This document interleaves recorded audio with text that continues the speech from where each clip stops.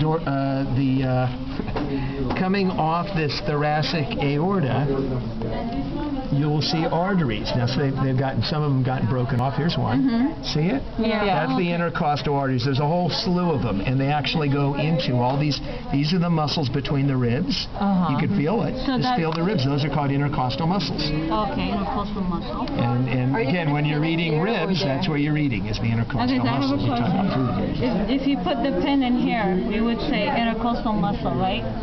Yeah, but I'm not testing you on the muscles right now. So I, if I was going to ask it at all, I'd put the pin into the artery, which is that red thing going Yeah. there, and Okay, that's so what we that would is. say okay. Intercostal Quite artery. sizey. Because we you put uh, The cat looks so different than and ours. where's mesenteric? Pathetic. Ours is the term? pathetic. Oh, the mesenteric. Okay. The the you see in your small intestine.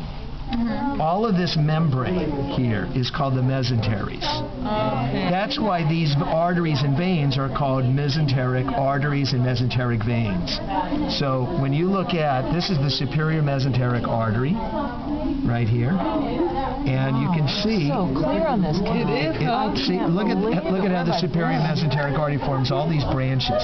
See all that? Yeah. And so that's why it's called superior mesenteric artery. It's going into all these mesenteries of the small intestine. This is the inferior mesenteric artery. See all that? Oh, It's in the mesenteries of the Oh, rectum and it's large intestine. Okay. So, me- so, you, different than so ours. if you put one in here, Well, in other words, I'm testing you right there on that. On that, on this. okay. Now, this is the lumbar artery to the muscles of the lower back, the, Okay. the iliopsoas. And this is the external iliac, and the, which becomes the femoral. And down here is the internal iliacs to the pelvis.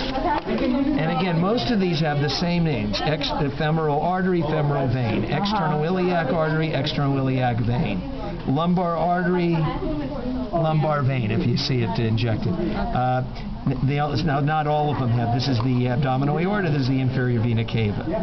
Renal artery, renal vein.